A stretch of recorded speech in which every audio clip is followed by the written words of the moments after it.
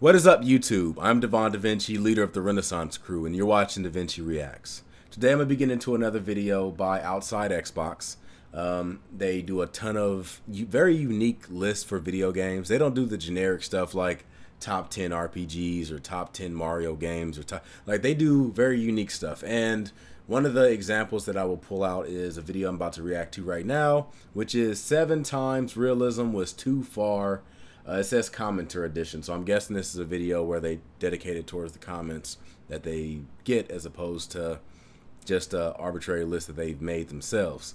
Um, I did react to another video they did. I forgot the name of the title of it, but I will leave a card in this video that you can go ahead and check out. Um, and you can look and see what it was because as of right now, it's I, I forgot about what it was. But um, like I said, they do make a lot of great lists. And if you want to go to their channel and look at the, what they have to offer, you can go to the end of this video, the last 30 seconds, click on it, and it'll take you directly to their channel where you can like, subscribe, and watch more videos as well. And the original link for this video is in the description box down below. So if you don't want to hear me interrupting or talking over it, just click that and watch it. Anyway, let's get into this. Realism in games is all well and good, right up until someone dies of dysentery. That was the thesis of one of our recent videos, and a lot of you concurred, submitting your own experiences in video games in which your greatest enemy wasn't dragons or zombies, but cold, hard realism. Here are your suggestions for the times you could have used a little less reality. Enjoy and watch out for spoilers ahead for the following games, and also dysentery. Boil your water, people.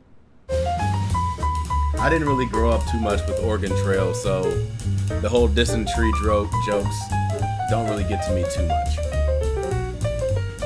or it's not a reference I can attach myself to very easily. Our story begins in the middle of last Bodily Tuesday, functions, where a hopeless Samuel. young freeloader called Sam is sipping a fancy cup of coffee with a name nobody can pronounce. In most video games, you take control of another person. That being said, it's usually just stuff like walking or shooting or opening doors you're in charge of, unless they're really drunk.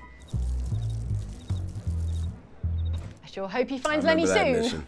Not so in the game Manual Samuel, which really means it when it asks you to take control of main character Samuel, as commenter Paige well, I think I've seen someone out. playing this. Literally the majority of Manual Samuel. you have to A, control Samuel's breathing, B, move individual limbs, C, complete simple tasks. It was either Game Grumps or Markiplier, In Manual Samuel, you play as the eponymous. Sam, a spoiled rich kid who is killed by a truck and goes to hell where he is offered a deal by the Grim Reaper. You'll have to survive 24 hours with a handicap I choose under my supervision, bro. Well, sure, Death. What's it gonna be? I can't tell a lie. I must only do good deeds. I must go around making amends to everyone I've wronged? Aight, so, this here be the dealing biz. All your body functions be manual, so you kinda have to do stuff on purpose. Oh, Oh, well, that went in a different direction to yeah, what I was like expecting. you have to make yourself breathe. You see, the human body is a clever thing and does that. a lot of its basic functions automatically, like breathing at different rates depending on your oxygen needs, and automatically blinking about 15 times per minute without you even noticing. Although now that I've mentioned it, I am noticing, and oh god, I'm gonna have to manually blink for the next 10 minutes. Thanks a lot, me. so in one sense, it's not super realistic that you have to do all this stuff manually. What is realistic is how much of a gigantic hassle it would be trying to keep track of your breathing and blinking while at the same time trying to keep your spine straight and your legs moving independently of each other. you be getting late for work. Sam does something that resembles walking toward the bathroom. Gonna do a kickflip now. You forgot to breathe. And that's not to mention the difficulty of doing simple tasks like peeing. Sam tries to take a leak. Oh, Walking boy. downstairs. Sam walks down the stairs with... Sam decides to hurl himself down the stairs. Or making breakfast without flinging boiling hot coffee in your own eyes. Sam hurls coffee into his eyes for reasons unknown. Mm. To be fair, I struggle with that some mornings. Blink. Oh god, I'm still doing it. Blink. Can we move on to the next thing? I've got some stuff to deal with here. Mm. Blink. Malaria. So you gotta watch out for mosquitoes in this game. The first Mosquitoes aren't just a vessel for preserving First Far Cry game I played was Primal, so I don't know They also have downsides, like when they bite you and give you an unpleasant disease. This element of epidemiological realism was embraced by Far Cry 2, which really cranked up the realism over the original game, usually in ways that would inconveniently kill you, like the weapons that would jam realistically.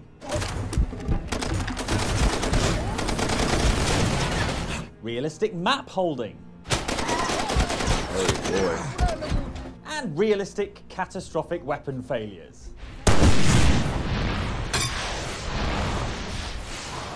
What The fuck are you doing? Run!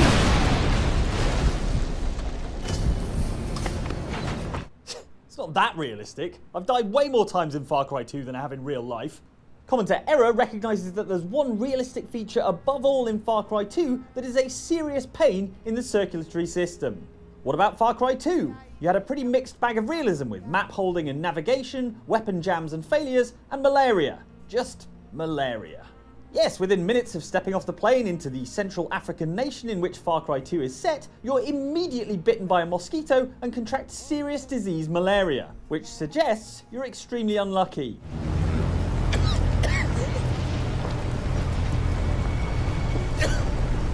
Either that, or some prankster swapped your insect repellent for delicious steak sauce. Having malaria is, as you might imagine, a bit of an impediment to being a mercenary. Fail to take your anti-malarials and you'll be struck with debilitating symptoms. These include headaches, weakness, and the screen going a bit yellow around the edges. Hey, are you okay? You don't look so good. You tired? Man, all this His realism last words to you were out of the I'm cab. not surprised they made the third Far Cry game a relaxing tropical beach holiday. Oh boy. Oh, come on. And of course, Oregon Trail has to be on here. The Oregon Trail was a historic 2,000 mile long wagon route that connected the Missouri River to Oregon. The reason that modern day Oregon is completely deserted is that every single person who attempted the trail died of dysentery. I got all the way to the last part of the boat Oregon race, Trail educational crashed video game, trying to get onto the shore in its depiction and lost the historical everybody. dangers facing the early westward pioneers, as noted by commenters Elora and Khan, who say, "How could you forget the earliest survival simulator, Like, Oregon I literally beat the P.S. river Use part, caution when googling tried what to dysentery bank is. myself Look, I'm and perfectly hit the wrong capable spot of googling medical terms without having to. Oh God! It was on image search. It was on image search. To be fair to the Oregon Trail, the real life Oregon Trail was a treacherous journey, and many settlers did die of diseases that are easily preventable nowadays. But the Oregon Trail video game is so hyper committed to historical realism that you can't go five feet without someone breaking their leg, contracting typhoid, breaking their other leg, and then dying of typhoid. And good luck if you want to try and cross a river. Good luck because some of you are definitely going to drown.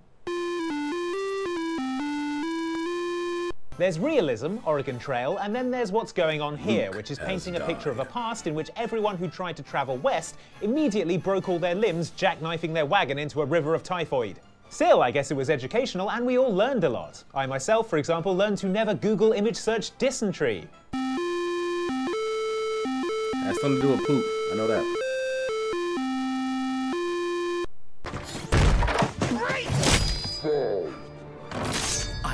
Figure a way out of this.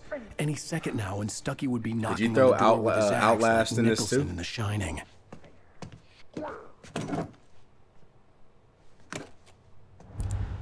Oh, Alan Wake it- takes place in the town of Bright now. Falls, which, as it happens, is one of the gloomiest, spookiest places we've ever encountered. Must be one of those ironic names, like the Great Depression. In fact, light is pretty much your only defense against the horrifying enemies called the Taken who have infested the town. There's just one problem with that, as commenter The Real 008 Zulu points out. Honourable mention for Alan Wake? The flashlight you used constantly had to replace its Energizer branded batteries. Yes, as the real 008 Zulu identifies, these batteries last about as long as my career as an international boxer. Just at the least opportune moment, the lights go out and you get accosted by a ghoul. Yeah, it, it it seems like if Energizer was going to actually sponsor. Even if you don't run out of it seemed like if Energizer was going to actually sponsor this game, you would think they would want their batteries to last a long time. this this this isn't helping Energizer's case for you know battery life. or the referee, as he insisted on being called. Even if you don't run out of power altogether, there's the extra stress of having to manually replace the batteries every 30 seconds or so during a heated firefight. This all seems like a bad advert for Energizer batteries. Still, That's stockpile exactly what of the batteries and use your flashlight extremely sparingly, and you can feel that little bit less anxious You're about sucking. battery You're capacity sucking. when you. Touche. Oh wow. Working for money in Kingdom Hearts 2.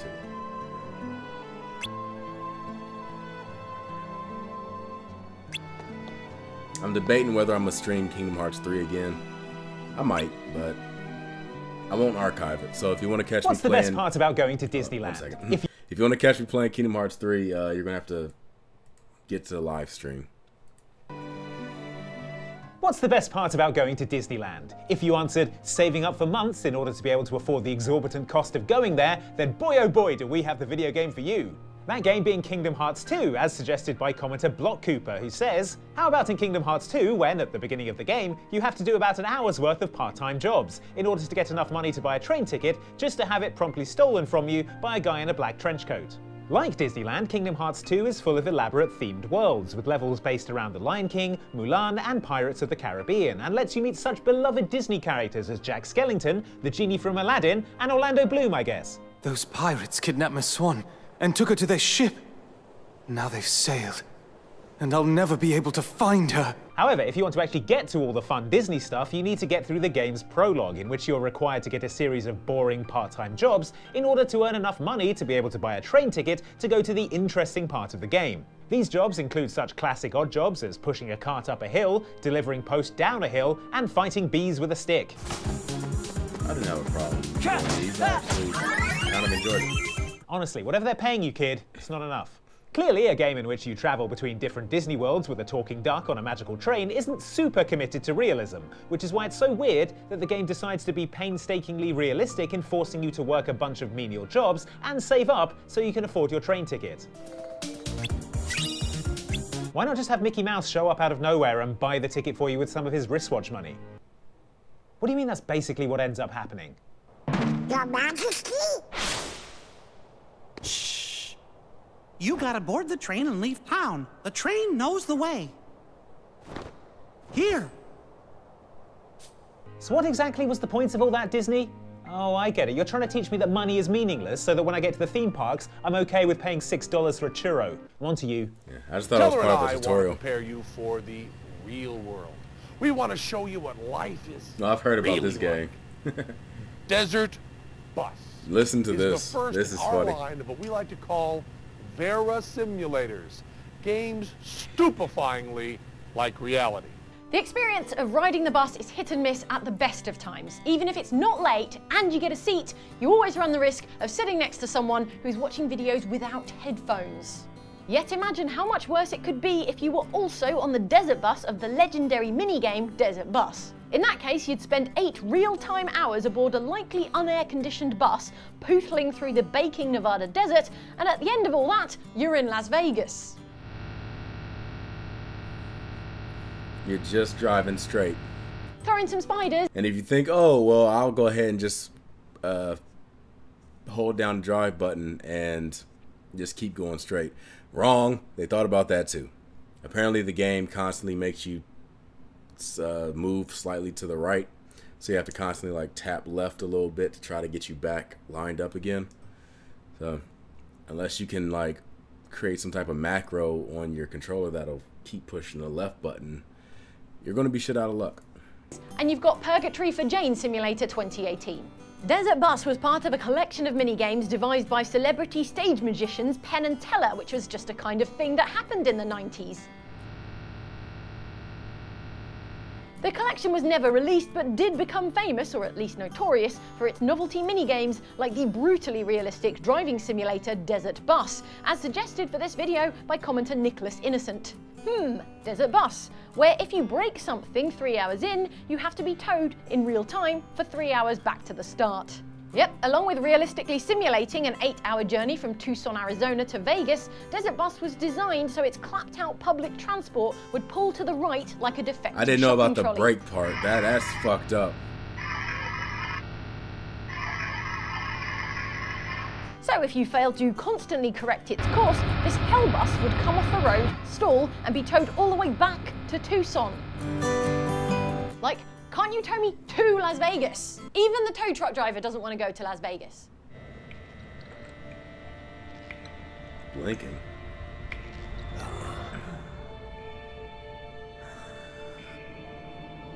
My God.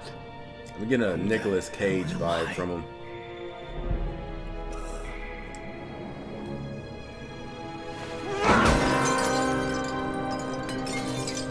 2008's rubbish Alone in the Dark reboot cast you as a younger, grungier version of the original game's Victorian detective, Edward Carnby, and sets its stall out early with an intro sequence that is completely incomprehensible. What if he doesn't show us the path? What if he tries to screw us? That's He's not got a option. chin on him, don't he? He'll do exactly what we want. Are you listening, Paddington? There's ways to torture a man that go far beyond the frail limits of flesh and bone. Is this a gritty reboot of Paddington Bear? That's what I was about to say. Like, what, what about fur and going fluff? on is made even more difficult by the fact that you have to manually blink every few seconds, not just during the initial cutscene, but during the entire first-person escape sequence that follows, as commenter Peterol recalls.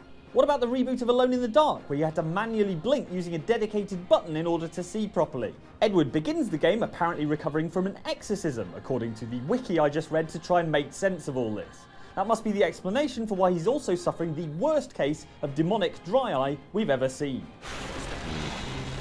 Either that or he just fell asleep with his contacts in.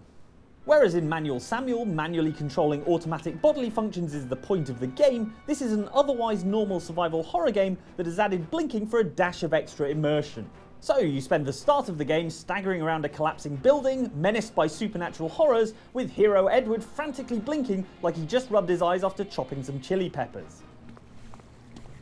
Hang on, maybe Edward's trying to communicate with us. Blink twice if you'd rather be starring in a better game. Let's hope so. Edward, who said you would talk? Damn. Up to now, I've been going easy. There it is. Thank you so much for watching this list of times that video game realism was, like Gary Busey, just too real. I uh, hope you enjoyed all those entries, and if you didn't like Gary any Busey of them is not real enough. They were all suggestions from the commenters, so our hands are clean. He is a reality in and of fine. himself. Just get in the comments and tell the people, the original commenters. What? That's a loophole there, legal loophole. That's uh, anyway. Yes, sorry. Videos. Here's a good one. Uh, it's if you've played Red Dead Redemption 2 and you finished it and you want to talk about the story, come here and join me and Luke in talking about those key story moments. Spoilers. It's a big spoiler. Don't click on it if you haven't finished it, but if you have, do. You'll enjoy the story discussion. And down here is a video from Outside Extra, which is about what happens when you go back to an old save, and it's very confusing. Definitely recommend that one. Mm -hmm. Just about any RPG, if you um if you go back and play it after not playing it for a very long time, you are extremely lost. That's one of the hard things about being an RPG fan. Uh, the older games, especially, they they weren't very helpful when it came to helping you on your journey after you've already got the information on where you need to go. Like nowadays, they have objectives that you can like click on and if you forget, then you can just like go to the pause menu or bring up your normal menu and it'll usually tell you an objective. Back then, like you had to talk to the NPC that gave you the objective or the clue or something like that. Then you just had to go. If you were out of that town and you saved the game or something and you left for a long time, you came back, you don't remember who the NPC was, you don't remember what the last thing you did was. You just got to hope that you can remember based on where you're at, like the location you're at you can kind of like assume where you're at in the story. You know, that's how all RPG fans were at the time. Um, I, I, thought they would put uh, Grand Theft Auto San Andreas in here because I remember on that game you had to man, well, not manually, but you had to eat at a realistic pace. Um, also, the original driver, I remember they had like really strict driving laws, so you had to like follow the laws and um, when it comes to speeding and things like that. So there are a lot of games out there that have things that you that make it seem very realistic, and sometimes it can take the fun away from the game. Um, other times it tends to be the novelty that actually adds charm to the game. So it depends. If you do it right, it could be a good thing. But too much of it, too much of any good thing is a bad thing, like anybody would tell you. But uh, anyway, that's been this video. I hope you guys enjoyed it.